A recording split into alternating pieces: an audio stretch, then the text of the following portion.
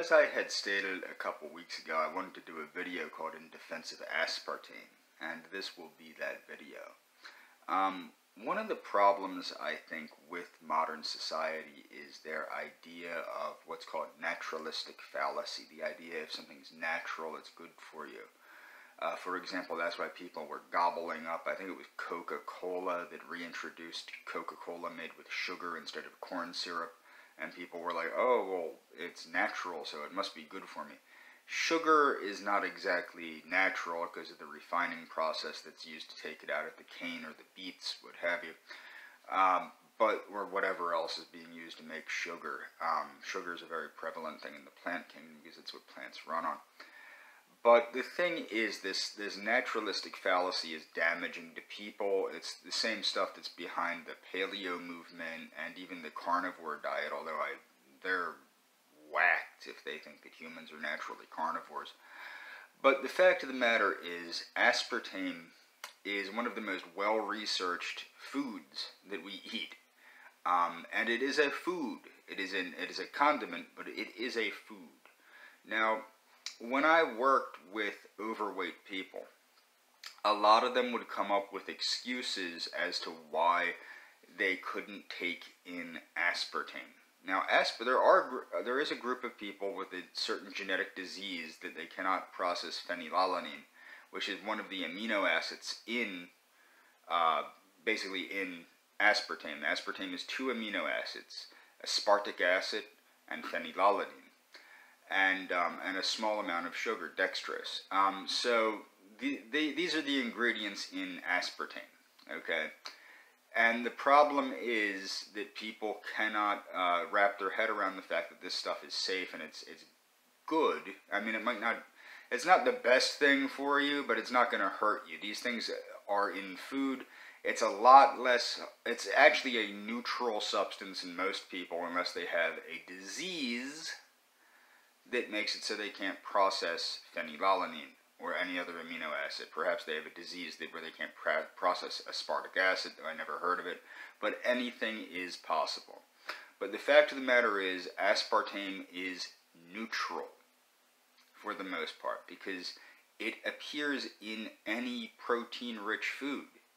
Meats, dairy, cheeses, um, many protein-rich beans, these amino acids are in peas, uh, they're in protein-rich foods. So if you say you're against, um, if you're against, uh, what do you call it, NutraSweet, you must then, of course, be against meat, dairy, eggs, and other things containing these amino acids. I am against the things containing these other amino acids, but not because they contain these amino acids, because they contain a lot of things that are very bad for you um, such as uh, saturated fat, cholesterol.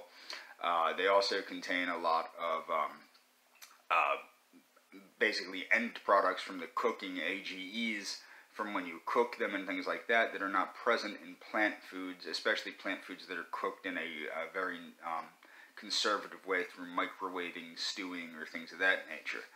So my point is, is that this this fear of the unnatural, the unnatural, is uh, absurd. I mean, the thing is, and you see this with like the eat clean diet. Uh, the eat clean diet. A lot of people that say they're following that. I've never.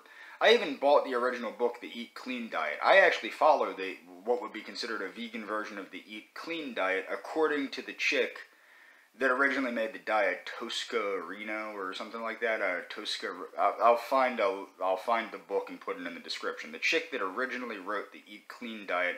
I read it in like 2005 or six or whenever the hell it came out.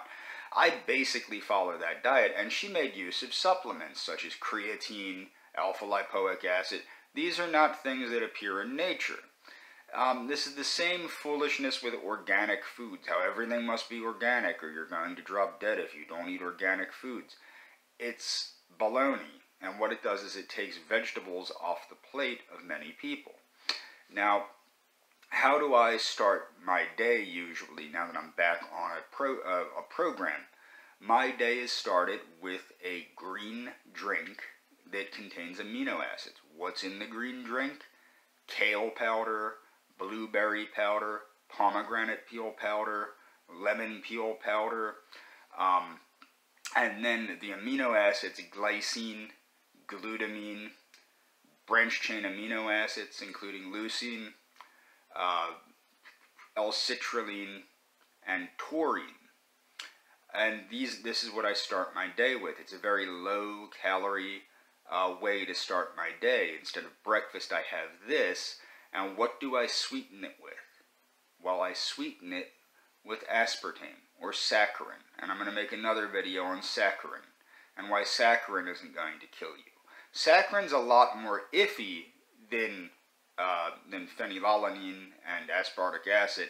The reason why is because saccharin is a byproduct of coal tar manufacturing, and it doesn't have the clinical evidence that aspartame does. That's the thing with aspartame, is aspartame, if aspartame isn't safe for the majority of the population, except for those with that genetic disease, it would be mind-boggling after all the clinical research, the absolutely lab laboratory research. With saccharin, which I will make a video on saccharin, with saccharin it's more population, uh, you know, well, populations that eat saccharin don't have any more incidence of cancer. There used to be a warning on saccharin products that stated that it could cause bladder cancer in laboratory animals, but being that they were observing the human populations consuming saccharin, and they've done things like give tablet, and I'm, I'm not going to put links to this in the description, but the links to the aspartame will be in the description. Um, but they would give people tablets that were equal to like 300 sodas a day, uh, diet sodas a day. Tab and Fresca used to be um, sweetened with uh, saccharin, and it didn't do no harm. Uh, but the other thing is the population research about populations that take saccharin. There's been no extra incidence of cancer. Um, I know a guy that's like 82. He's been eating saccharin every day because he's been on the Atkins diet for like 50 years. He's definitely not developed cancer and he's doing very well health wise. Um, and that's what I mean these things that people are saying are horrible for you and they're going to kill you because they're not natural, it's just not the case and people need to start looking at the evidence. And uh, that's all for this video.